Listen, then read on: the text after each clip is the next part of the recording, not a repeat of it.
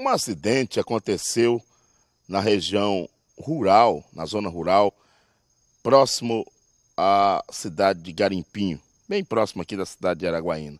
Inclusive, Garimpinho é município de Araguaína. E vitimou de forma trágica João Batista Neto.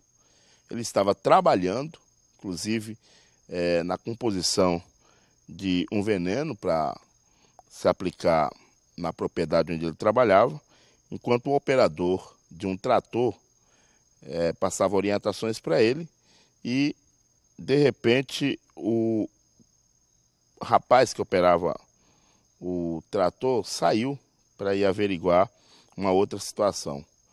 Quando ele voltou, é, o João Batista Neto já estava esmagado pelo trator ali na região do Garimpim.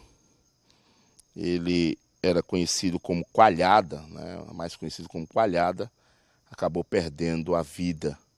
O seu corpo foi encaminhado aqui para o IML e será, é, evidentemente, em seguida liberado à família.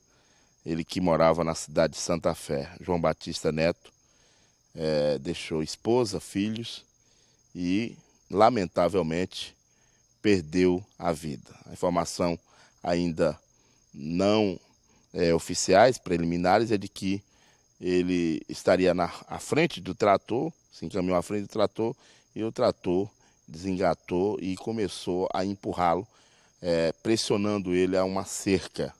E ele acabou é, sendo esmagado.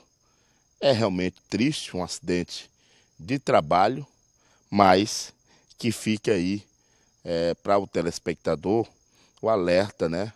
A dica de que todo cuidado é pouco, principalmente no seu local de trabalho. João Batista Neto, mais conhecido como Coalhada, é, faleceu, perdeu a vida desse jeito, dessa forma tão é, trágica que foi esse acidente desse trator.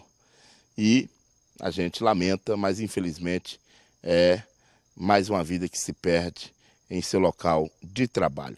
Com imagens de Rafael Acácio, Daniel Evangelista, direto aqui de frente, Instituto Médico Legal, IML, para o programa Jerônimo Cardoso. Então, os familiares de João Batista Neto né, e os amigos, essa informação né, de que ele também era bastante conhecido aqui na cidade de Araguaína, de que ele é, morreu, faleceu vítima de um acidente, foi esmagado, na verdade, pelo trator. A perícia né, ainda vai fazer é, todo o procedimento de dia, porque não tem como ir lá à noite, mas é, a perícia no trator para saber realmente a causa de tudo que aconteceu. O laudo sai dentro de 30 dias.